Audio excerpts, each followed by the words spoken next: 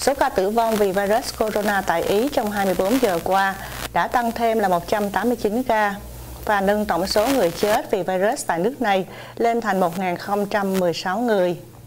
Theo Guardian, thì cơ quan bảo vệ dân sự Ý chiều 12 tháng 3 cho biết rằng số người chết đã tăng là 23% trong một ngày qua và đưa tổng số ca tử vong nước này hiện vượt con số là 1.000, tức là cao nhất bên ngoài của Trung Quốc.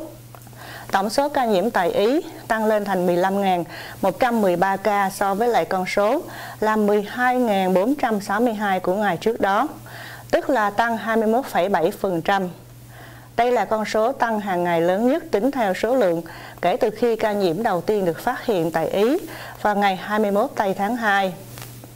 Cơ quan bảo vệ dân sự cũng cho biết trong số những người nhiễm bệnh, 1.258 người đã hoàn toàn hồi phục so với lại 1.045 ca của ngày trước đó. Khoảng 1.153 người đang được chăm sóc đặc biệt. Tiếp sau lệnh phong tỏa cả nước vào hôm 10 tháng 3, Thủ tướng Ý là Giuseppe Conte vừa tuyên bố các cửa hàng trên toàn quốc sẽ phải đóng cửa, trừ siêu thị, cửa hàng thực phẩm và cửa hàng bán dung dịch tẩy rửa. Các công ty phải đóng cửa tất cả bộ phận không phục vụ việc sản xuất. Tỷ lệ tử vong trên toàn Ý hiện ở mức là 6%, cao hơn nhiều so với tỷ lệ trung bình toàn cầu và thậm chí cao hơn nhiều so với lại Trung Quốc, nơi Covid-19 khởi phát. Virus corona đang khiến cho hệ thống y tế nước này quá tải, đặc biệt ở vùng Lombardy miền Bắc. Hơn 80% giường bệnh ở vùng này đã được dành cho các bệnh nhân virus corona.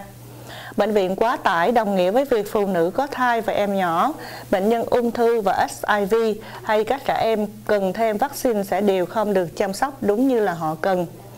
Ngoài ra thì Ý cũng là nơi có dân số già thứ hai thế giới và đây lại là nhóm đặc biệt dễ tổn thương khi gặp phải virus.